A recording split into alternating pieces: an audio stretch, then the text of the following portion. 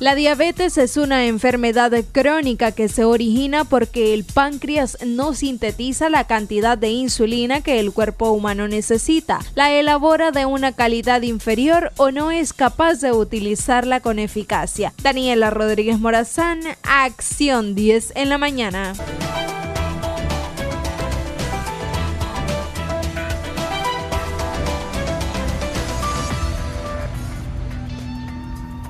Gracias, Danielita. Efectivamente está con nosotros el doctor Javier Bravo, diabetólogo, y estaremos hablando sobre esos factores, esos signos que nos pueden inducir a dudar si padecemos o no de diabetes, qué tipo de exámenes debemos realizarnos para estar claros si eh, somos diabéticos, diabéticas o no, en qué rango de edades podría afectarnos. Ya él nos los va a decir. Doctor, bienvenido a Acción 10 en la mañana. Gracias, Odile, una vez más aquí en la revista Acción de la Mañana. Primeramente, darle gracias a Dios, ¿verdad?, por un día más de vida. Hablar sobre diabetes es un tema muy importante, ¿verdad? Esto es importante porque eh, los televidentes que nos están viendo eh, se hagan un autoexamen, identificar qué puede tener ese paciente para desarrollar diabetes. La primera, lo primero que podemos mencionar son aquellos pacientes que tienen eh, factores de riesgo como es lo genético, antecedentes familiares en primer grado, en el caso de los padres y madres, hermanos, que padezcan de diabetes, esto ya lleva más de un 50% de padecer de diabetes en los siguientes 10 años. Pacientes que son obesos, inclusive, eh, también tienen tendencia a padecer de diabetes, también los pacientes que tienen un alto consumo, fíjate bien, un alto consumo de carbohidratos y azúcares, que normalmente la gente piensa que solo la ingesta de grasa te puede conllevar a la aparición de la diabetes y no es así, pues normalmente es por el alto consumo de carbohidratos que es lo que más común la gente ingiere y lo que es la parte de, de, los, de los azúcares, ¿verdad? Como son las bebidas carbonatadas, ¿verdad? El alto consumo de alcohol, al igual que las personas que fuman demasiado, esto también te puede conllevar a la aparición de diabetes. Pero ¿qué podemos encontrar en un paciente que podemos decir, este paciente desde que uno lo ve entrar a la consulta, este está sufriendo ya de diabetes o tiene signos de diabetes? Un paciente que ya tiene manchas en el cuello que se ¿Eso es cierto entonces, doctor? Exactamente, ya si yo ando en la calle circulando y puedo ver pacientes con obesidad, pacientes con manchas en el cuello, pacientes con manchas en las axilas, este paciente ya está teniendo síndrome de resistencia a la insulina. Fíjese que mujeres embarazadas a veces eso se da, ¿tendría que ver con algo de, la diabetes gestacional como usted ese es un, abordado? Ese es un factor de riesgo. Aquellas personas que sufrieron de diabetes gestacional tienen tendencia a desarrollar diabetes si no se cuidan. Es decir, ellos pueden detener la diabetes en ese momento por el embarazo, pero si siguen un ritmo no adecuado como es el sedentarismo, la obesidad, el alto consumo de alimentos, ese paciente puede desarrollar diabetes en los siguientes cinco años. Además de esa de ese síntoma en la piel o de esa seña en la piel, ¿qué otros eh, factores nos pueden a nosotros inducir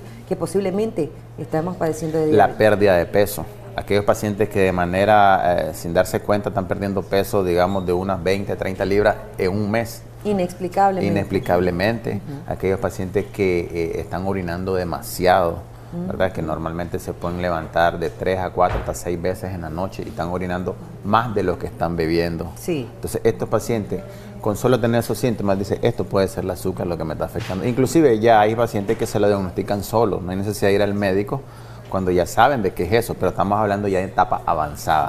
La idea es rescatar aquel 9% de que está padeciendo la población de Nicaragua y aquel 4% que todavía no han tenido un diagnóstico hasta ahorita. Eso sucede también en niños, esos síntomas los podemos también ver Exactamente, conocido como diabetes tipo 1 o diabetes infantil. Digamos que tu mamá, la mamá fue diabética gestacional el niño nació, entonces este niño hay que estarle haciendo exámenes con rutina para darnos cuenta si va a padecer o no de diabetes. ¿Qué tipo de exámenes, doctor, se realizan los diabetes? El primero es la glucosa en ayuno. Aquel paciente que si le hace su examen tiene que estar en menos de 100. Ya cuando aparece entre 110 y 120, hay que seguir. El que está en, 95, por ejemplo, la glucosa. En, en, 95 está normal, ¿verdad? En ayuna, sí. Sí. Ya después de un alimento, digamos después de las comidas o una glucosa casual, si ya aparece mayor de 200, entonces ese paciente ya tiene criterio de diabetes. Pero hay que hacer el segundo paso, que es lo que es la prueba de tolerancia. ¿Qué significa la prueba de tolerancia? Es darle a ingerir una cantidad de glucosa al paciente y verificar si su páncreas está produciendo insulina para ver si de esta manera nos damos cuenta que con cada alimento que el paciente te ingiere, está ingiriendo, el páncreas está produciendo insulina y así de esa manera disminuye la glucosa. ¿Qué recomendaciones les podemos dar? Porque incluso usted decía, hay factores genéticos, hay factores incluso... Eh, del estrés que podrían predisponernos también eh, a la diabetes, pero ¿qué recomendaciones darnos? Porque la idea es prevenir cuando se puede, porque si es genético, lógico, ¿verdad? No se va a prevenir una, una próxima diabetes, pero ¿qué factores y qué también eh, elementos podemos nosotros tomar en cuenta para prevenir una, una diabetes? Lo primero es hacer ejercicio. Si ya tienes tendencia familiar, no subir de peso y hacer ejercicio. Son las dos cosas fundamentales asociadas a la alimentación, ¿verdad? Si nosotros combinamos esos tres, esos tres, esas tres recomendaciones, el paciente no va a desarrollar diabetes fácilmente, porque recordad que cuando nosotros ya encontramos al paciente diabético y lo estamos atendiendo ya con el diagnóstico, le mandamos a, orientar eso. Entonces, si eso lo hacemos antes de que se diagnostique la enfermedad, entonces es posible que ese paciente no desarrolle la enfermedad en ningún momento, aunque tenga la descendencia familiar.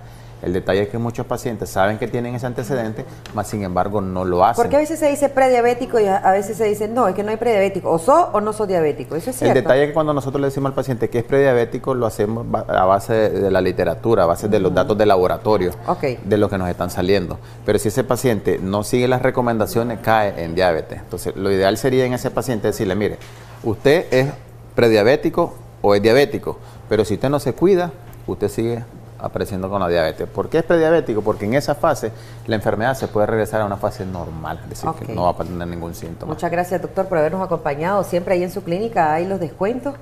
¿Verdad? Así es, ya nos pueden visitar ahí, los teléfonos aparecen en pantalla y que nos llamen entonces. Como no, muchísimas gracias a usted por siempre estar pendiente de Acción 10 en la mañana también y colaborar con cada una de las personas diabéticas que nos llaman. Vamos de inmediato a saber un poco cómo están los precios en los diferentes mercados del país. Danielita Rodríguez ha hecho un recorrido y veamos en Balanza Nacional que nos tiene preparado.